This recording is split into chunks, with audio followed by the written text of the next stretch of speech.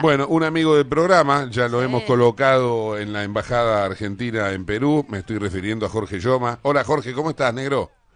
Hola, Gustavo, ¿cómo estás, hermano? Bien, grande, ¿eh? bueno, eh, ahí está, te pusimos en la Embajada finalmente, lo logramos, ¿eh? Ahí está.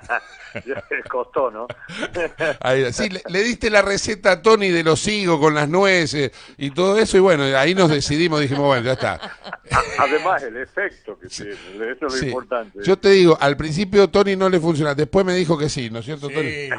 Brillante. Pero, pero- otra, otra que Brilla- sildenafil. No, no es para todos, este, usted sabe bien.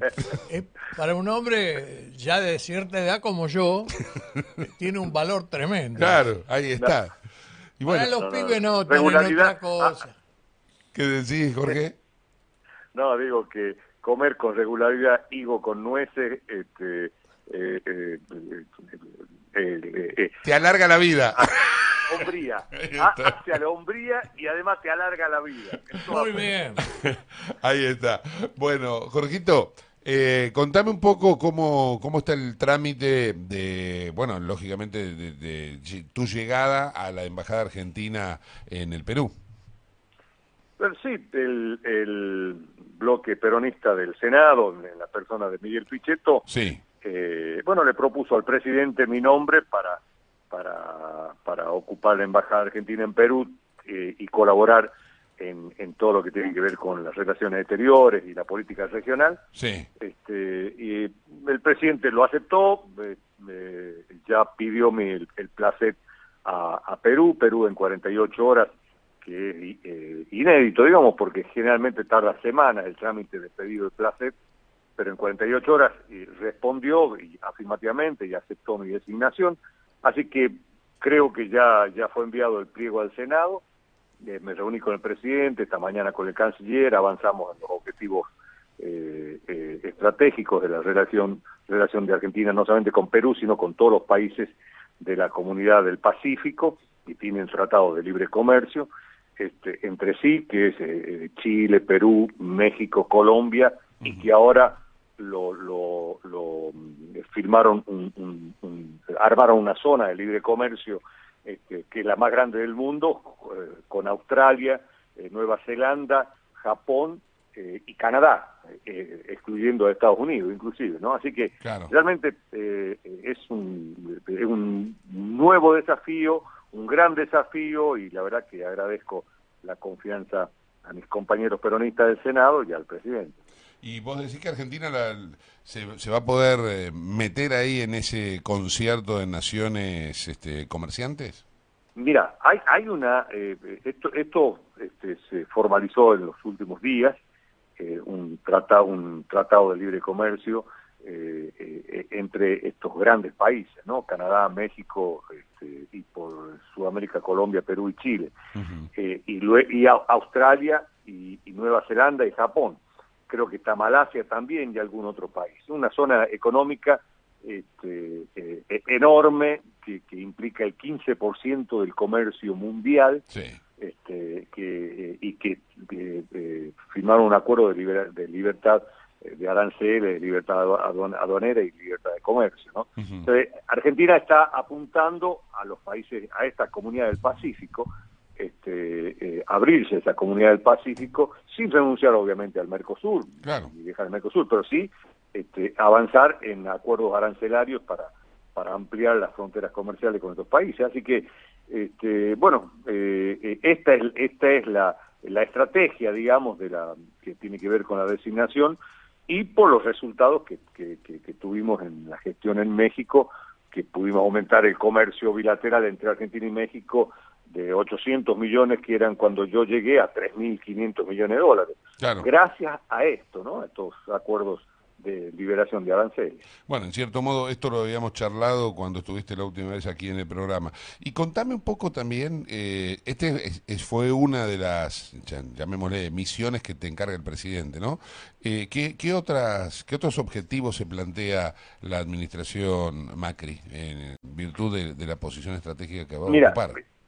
Eh, eh, involucrar a las provincias. Eh, mi experiencia me, me- me indica que nosotros pudimos triplicar el comercio bilateral con México gracias a que eh, a las misiones comerciales que organizamos y, rondas de negocios de las provincias eh, eh, en, México en este caso y en este caso vamos a hacerlo con, con, Perú. Este, hay más de 10 misiones comerciales que, pudimos organizar con este, donde mm, pudimos este, colocar la maquinaria agrícola. Nosotros tenemos tecnología de punta en materia de siembra directa eh, en maquinaria agrícola y, somos eh, tecnología de avanzada, eh, más que todo las provincias de Santa Fe y Córdoba. ¿no? Entonces, esto implica un gran avance tecnológico para el agro peruano y creo que vamos a, encaminar por ese lado la ampliación comercial, vamos a buscar colocar producción regional, este, pero por supuesto que también tiene que ver, tenemos que comprar, digamos, en el comercio exterior no es solamente que vos vendes, vendes, vendes, sino también tenés que comprarle para que poder llegar adelante los acuerdos. Así que vamos a ver la agenda de temas. Eh, la semana que viene tengo reuniones toda la semana en la Cancillería para, para ver la agenda de temas de la relación bilateral y la relación regional. Eh, la importancia, te reitero, Gustavo, no es solamente Perú como país, sino Perú inserto en nuestra enorme región de la comunidad del Pacífico. ¿no? Claro, también digo, y mm, acá más que con una afirmación, es con una pregunta desde la plena ignorancia, ¿no? que es cuando uno pretende venderle a esos países, ¿no está sujeto también a tener que comprarle? Y pregunto esto porque una de las principales preocupaciones que tiene hoy en día las pymes argentinas, la industria en general, las economías provinciales, todo, es la, invasión de productos que se ha dado, particularmente desde la llegada de este gobierno, ¿no? Sí, mira, este, eh, es comercio. Si vos, si vos quieres colocar eh, por maquinaria agrícola, como te decía recién, y, bueno, le tendrás que comprar a ellos, este, eh, eh, eh, qué sé yo, este, industria aeronáutica, que son productores, que son, son, son un, gran competidor y gran actor Perú en, materia de industria aeronáutica. Bien. Este, digamos, es intercambio comercial y en ese sentido, por supuesto que tenés que ver las áreas sensibles de nuestra economía, digamos. Si vos ves sectores de la economía que se pueden perjudicar eh, con, una, con, una, invasión de productos eh, eh, de otro país, obviamente que, esos sectores los proteges con un arancel un poco más alto. Este, pero, pero, es cuestión de balancear, digamos. Lo que no podés hacer es decir, bueno, comprame, yo te vendo, pero no te compro nada. Eh, hay que equilibrar. No, en ese te, sentido... planteo esto porque me preocupa, viste, por ejemplo, se ha incrementado las ventas a Brasil, pero Brasil las ha triplicado, cuadruplicado con respecto a Argentina. Entonces digo, no nos vaya a pasar una cosa así, ¿no? No, no, no, digamos, eh, es muy difícil que nos pase algo así porque eh, hoy por hoy la relación comercial es 10 a 1 a favor de Argentina.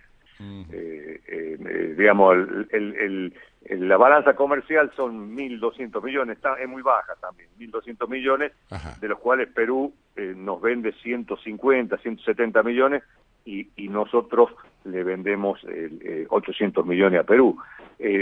lo, más que todo lo, lo, lo que vendemos es soja, aceite de soja, y, algún otro agroalimento, digamos, pero por eso hay que diversificar y le compramos nosotros este, eh, este tema de la industria aeronáutica eh, y algo de textiles, ¿no? Este, eh, dentro del rubro textiles vos tenés confecciones o tenés hilados o tenés, digamos, hay distintos rubros. Entonces vos son son son negociaciones que llevas adelante, pero con con que el otro país también tiene que ganar, si no no es Seguro. A, pura, a pura pérdida, digamos. Esto es el comercio, y esto aumenta el comercio, y esto agiganta el comercio, eh, eh, eh, en la medida que también este, uno ve, sin desmerecer y, sin desproteger a tu industria, podés incorporar elementos que al comercio bilateral que favorezcan la relación, ¿no? Claro, claro. Jorge, ¿cuándo es que se da, tu llegada? para eso está la diplomacia, digamos, precisamente para equilibrar y teniendo información, por supuesto, sí, que tener toda la información. Jorge te preguntaba, ¿cuándo llegas vos a Perú? ¿Cuándo, ¿cuándo tenés que viajar? ¿Cuándo... Mira, eh, yo eh, voy a, acompañar al presidente a mediados de abril, que es la cumbre de las Américas. Todos los presidentes americanos se reúnen en Lima eh, eh, a mediados de abril. Y ya mm, eh, te- luego viene la embajadora que está y voy yo, así que cerca de fines de, de abril ya, ya voy Bueno. a, y me hago cargo. Bien. Antes voy a viajar con, eh, para la cumbre de presidentes. Bien, bueno, hasta acá la entrevista. Jorge, acá eh, te dejo en manos de Luis Pedrotoni, que No, tiene, tiene alguna consulta más para No, hacerte. este, doctor, este, sin duda, usted es una persona muy inteligente, más allá del partido al que pertenece, y me parece muy buena la, designación para ese cargo o cualquier otro importante acá en el país por su claridad política durante tantos años. Ahora voy a lo siguiente, ya que va a Perú, yo le pregunto si hay alguna forma de, de conseguir algún yuyo nuevo, no se ría, de, Inca, Inca, porque acá viene la maca. Bien power, dicen La que son maca eso. es muy power, para decirlo en inglés. Claro.